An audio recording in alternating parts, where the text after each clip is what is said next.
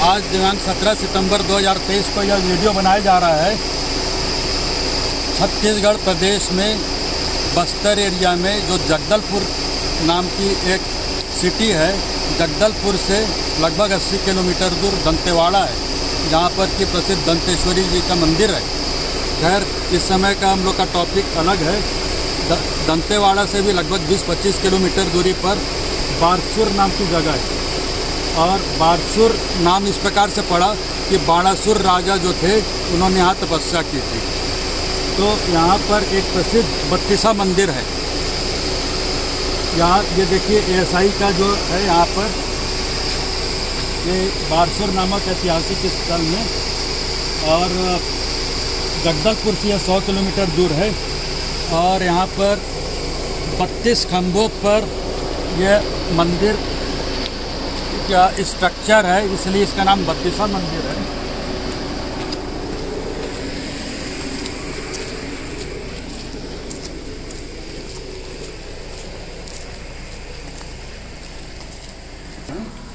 यह बत्तीस खम्भों पर स्थित है, इसलिए इसका नाम बत्तीसा मंदिर है। और यहाँ पर ये नंदी जी हैं, और यहाँ की खासियत है कि यहाँ पर जो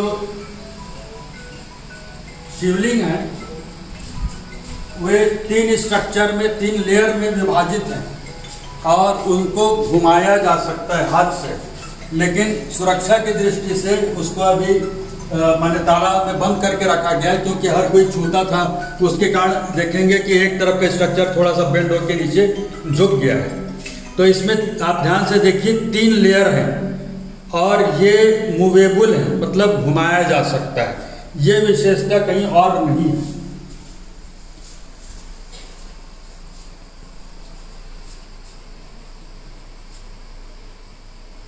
ये नंदी जी हैं, ये थोड़ा सा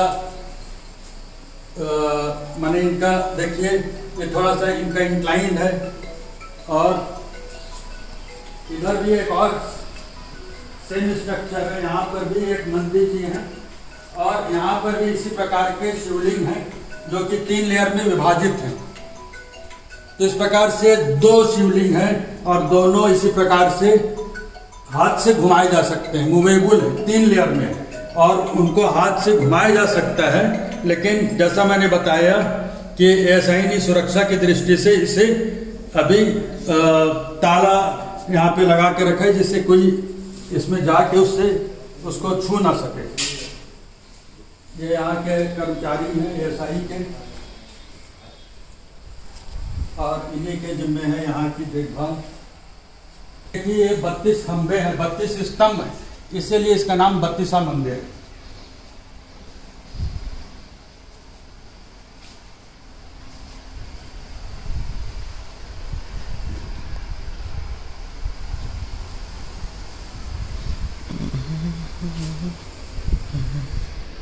आप कुछ बताना चाहेंगे मंदिर के बारे में?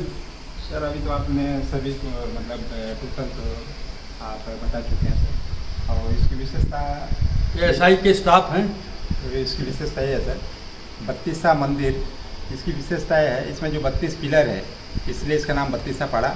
इसका निर्माण हुआ है आपका ग्यारहवीं और बारहवीं शताब्दी में निर्माण हुआ है। और इनको जो निर्माण करने वाले जो राजा हैं छिंदक नागवंशी सोमेश्वर महाराज की रानी द्वारा निर, निर्माण करवाया गया है। उनका नाम है गंग देवी। इस मंदिर में दो गर्भगृह हैं और आपका दो मंडप।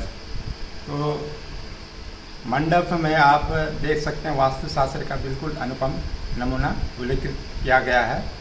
और जहाँ पे आपका शिव जी का जो जलहरी स्थापित है उस पार्ट्स को गर्भगृह कहलाता है और मंदिर का पार्ट्स नागर शैली की पद्धति से बना हुआ है। और इसमें ये भी किवदंती है कि जो जलहरी तीन लेयर में जो बना हुआ है ग्रेनाइट से बना हुआ है, वो तो तीनों जो लेयर है अलग अलग है, पहला, दूसरा, तीसरा, तीनों लेयर अलग अलग है। और ये किवदंती है कि इस किसी बत्तीस पिलरों में से एक पिलर में उस जलरी को मोमेंट कर देने से गुप्त द्वार खुल जाता था।